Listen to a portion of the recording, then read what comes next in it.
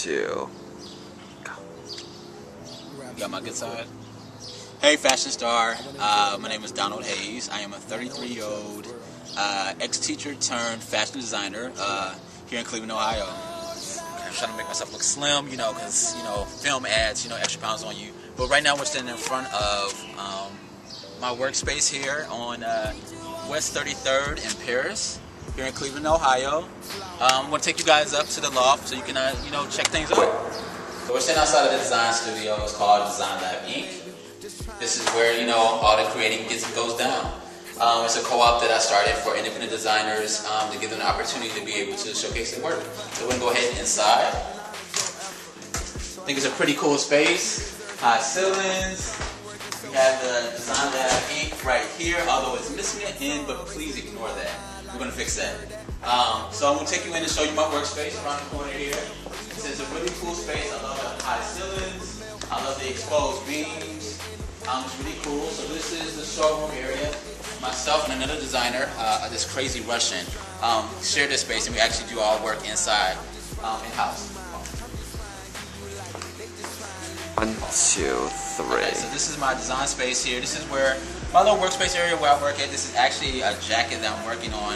That's where it's taken me like 15 years. But um, and I love working with upholstery fabrics. Um, just experimenting. So this is the jacket I'm working on. You know, you have like these exaggerated sleeves here. The zipper, of course, is not in yet. And then the back. You know, I want to uh, add the rest of these down here. My inspiration was actually a um, an armadillo. So this is kind of reflective of that. You know, cool workspace, sewing machines, fabrics, some other stuff that I'm working on right now. So, you know, that's that's about it.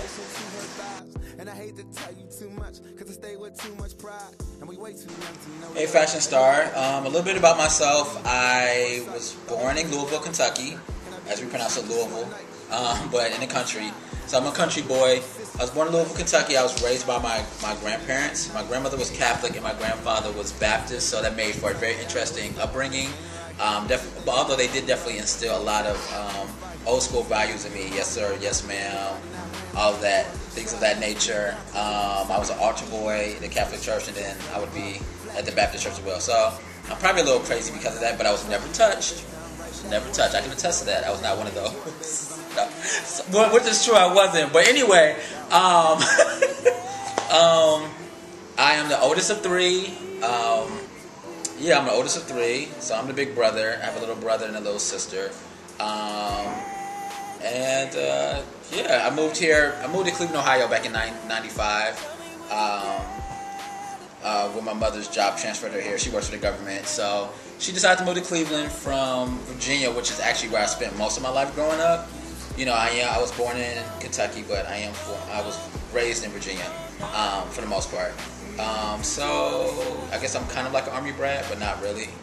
I don't know. So that's I'm rambling now. So I'm gonna stop right there. Walmart. Do I currently have uh, my own fashion line? Not sold at Walmart. Um, no, I do currently have my own fashion line. It's called Electric Canary. Um, that's my current collection. Um, I would describe it as a fuse between, well, kind of like my, my idea of a futuristic, uh, a futuristic, a future, so this is my current collection called Electric Canary. Um, I was inspired by the movie uh, Tron and also the movie The Immortals. So it's kind of fusion of that, mixing like hard materials with soft materials. Uh, once again, I love using like upholstery fabrics. You know, as you can see, I did the little capelet with a upholstery fabric here. Did a little men's top, um, long sleeve with a like the little upholstery uh, inserts there. Um, I'm really inspired by like Japanese fashion too. So I, I, like to, you know, just do things that's different. You know, I wanted to do something that's a little more futuristic, but still very commercial and sellable. So that's, you know, it's kind of what I do. Why do I love designing? What it means to me? I love designing because I just get to create whatever's in my mind. I get to bring, you know, my sketches to life, just my ideas, and just make them a reality. No matter how crazy they are, you know, they're my designs. It's my creativity, you know, and I think that's what I, I, love most about it. You know, no one can put a hold on what I what I decide to do. It's all about what's up here. You know, so that's what I why I love design. It's just another art form, another way that I get to express myself.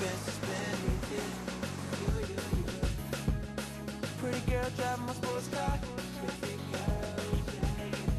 Got my feet up on the wood grain, roof I'm missing.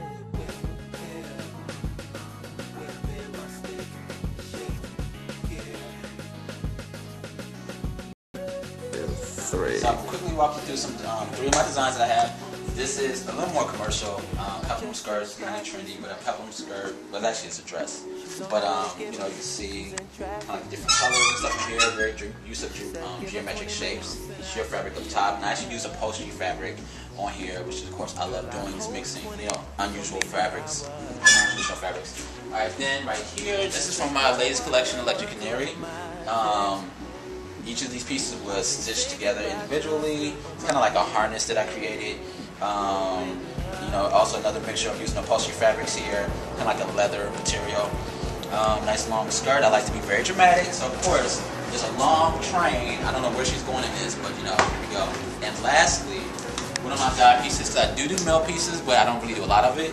Um, also from the Electric Canary collection, I was um, once again inspired by like the Japanese fashion. But, you know, um, have a zipper here. Um, it's actually two pieces. It's a hoodie up under here, and you have like your little hood that you can fold down, and then in the back, which is not easy to get into. So as a designer, you have to think of being very practical, and I did it. But little snap details in the back, zipper, you know, to get into it, and that's about it. Why am I the next fashion star? Um, I think I'm the next fashion star because. no, I'm joking. No, I take baths every day. Um, I'm no, I'm the, I'm the next fashion star. And let me be serious, I guess. But um, I'm the next fashion star because I feel that I'm very creative. I think that I have an understanding of how to make something commercial, but yet still very, still very. Um, I think I spoke Russian for a second there. I've been around my buddy too long. Um, but very editorial and very commercial, and merge those two together and find that happy medium, which I think sometimes fashion is missing. Like everything seems very cookie cutter. I think in fashion. Um, so I think you know we need people who are very have that raw creative talent, and I think I possess that.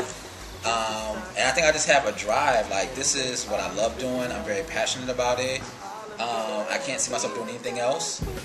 You know, I've already gave a lot of sacrifices already for for my dreams, and I'm willing to continue to give and give and give. And I think that's why I'm the next fashion star. I think I'm very relatable, and I think that also in the fashion industry, minorities are underrepresented in the fashion industry. In my personal opinion, and it's my personal opinion alone. I'm just saying, you know. So there you go. I'm next fashion star.